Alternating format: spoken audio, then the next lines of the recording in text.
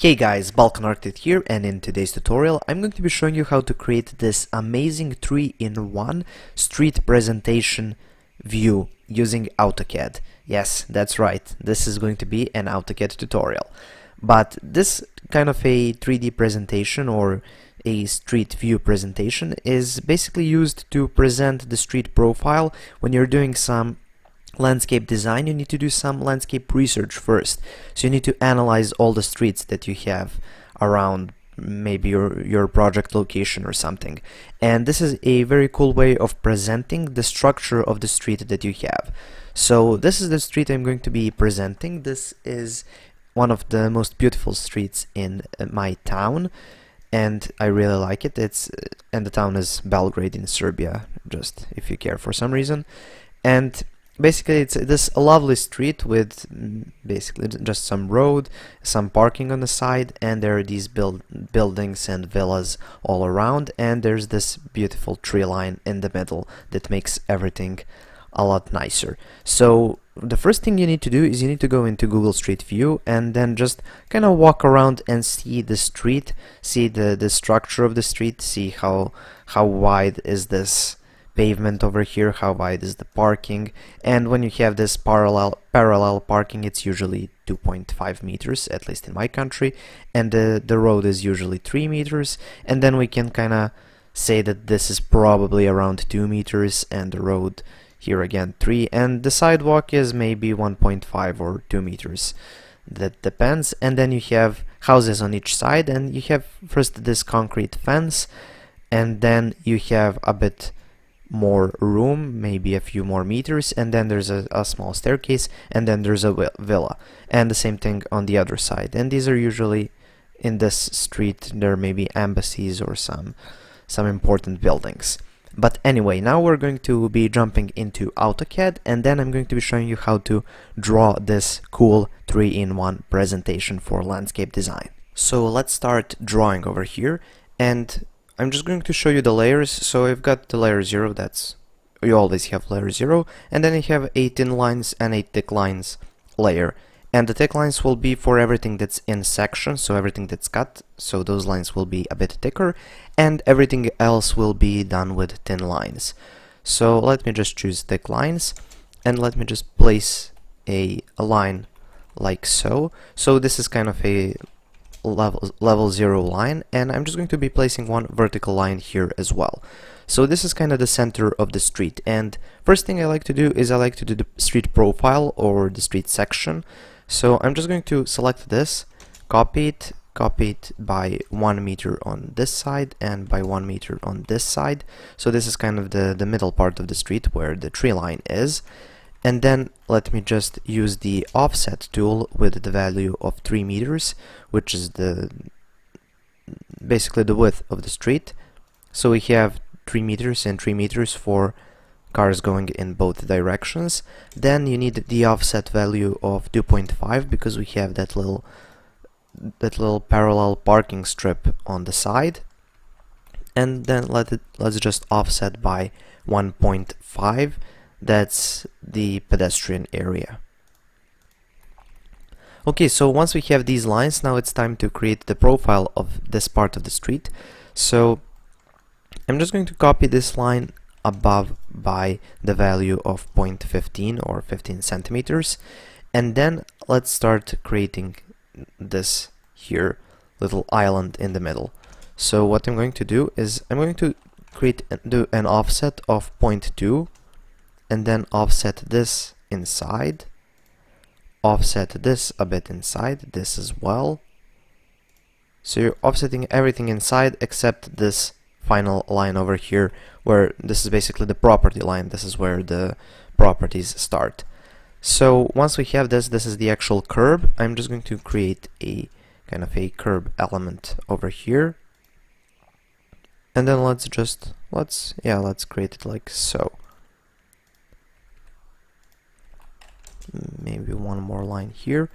Okay so this is like the curb element and I'm just going to type in join to create this as a polyline.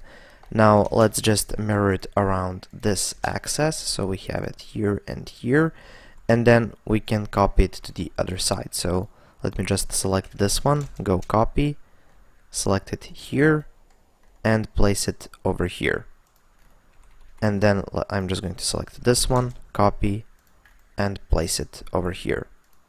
Okay, so once we have that, now we can kind of do a bit of trimming. So I'm just going to use trim and extend, trim here, trim here, and then you can bring this in a bit. And here we don't really have this line anymore, but let's bring this to here. Okay, now we don't need these lines anymore, or these lines, or this, or this. And then let's continue with the ground over here.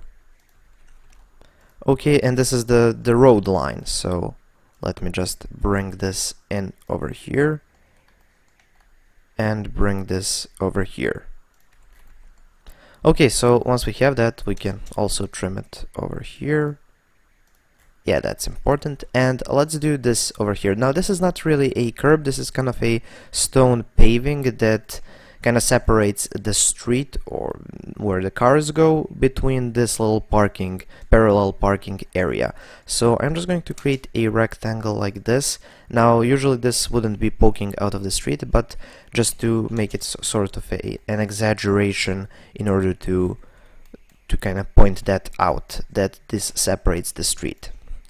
And let me just trim and extend here and trim and extend here Okay, so basically we have now the street profile and now it's time to do all of the buildings. And now basically we're continuing on with this fence over here uh, with the guardrail as well. So you just want to have everything basically showing in the section where is the separation from the street to the property. And then for the building here, as you can see, I'm placing all of the floors. The floors kind of indicate the structure of the building and how many floors the building has and if you know if there are any basements in these buildings it's usually good to indicate that as well because it's important for some landscape analysis before you create a landscape plan to showcase everything but in this case this building doesn't have a basement so I didn't place it but I did place this curved roof basically just to, to, to show that it doesn't have a flat roof, it has kind of an, a, an angled roof. And here I'm just finishing off the stairs and the road. And you don't really have to be too precise, it can be kind of a diagram type thing. But you want to show all of the elements you have over here. And here I'm just continuing on with the, the second house. And then you basically repeat the process for the second house on the other side. And what you can see here is I'm kind of starting to convert this from a kind of a section view into a perspective view and because everything is kind of starting from the the section it looks quite nice it looks like the, the section has been basically extruded into a form of a some sort of a perspective view. Although this perspective isn't really it's nothing like it would be if you were doing it in a 3D program but I especially like the these kind of a point perspectives when you're doing them in CAD they kind of look cartoonish like but they, they they show a lot. I don't know. I, I, I just like this type of a presentation view. So you basically just extend all points to the to the center point in the that you have determined and just don't place it too high on the on your drawing. So it should be kind of a, a, little bit above the street. And then you start placing all the points and connecting it. And yeah yeah basically the, the center point is at the the level of the first floor. So maybe you should be going by that. And here I'm just kind of placing these balusters or these, these, these points on the the railing or and then just connecting everything placing all the lines. You get the point. You just connect everything and then you kind of work work with it and connect it. Okay so with the hard part out of the way now it's time to continue on with the easy part and that's the the floor plan part. So I'm just going to place one line like so to create sort of a separation between this here perspective view and the section view and our floor plan view. And now once we have this, because everything's already uh, dimension, we already have all the dimensions from the section part, so you can just extend these lines. And I just like to create one line and then just copy it around to all the important points. So let me place it here, here as well. And then you can of course mirror this around. So just use the mirror tool and there you go. And then for the house, I'm just going to place, let's say, one line over here. Now, because this is in perspective, you don't have to be overly precise. This is just kind of a graphic represent representation of a street, so it doesn't have to be perfect. Okay, so once we've done this, now uh, just a little trick here. When you're trimming, if you if I, if I trim over here, if I go trim and extend because I don't want these lines going through, I would have to trim here and then trim here again. And to eliminate that part, because sometimes there's a lot more lines and it can be a bit difficult, I like to place one more line over here. So then, oops, it should be going up a bit. Okay, and then when I trim, just all the way through, I can then select all of these lines and delete them. And let's delete this because we don't need the perspective center point. Okay, so we have that, and now I'm just going to kind of finish off this center island over here. I think it's a interesting part, or maybe finish it down on this side, maybe that's even better. So I'm just going to place a line like this, and then let's create a circle here and here, and then we can trim everything. Okay, so you just continue on doing this.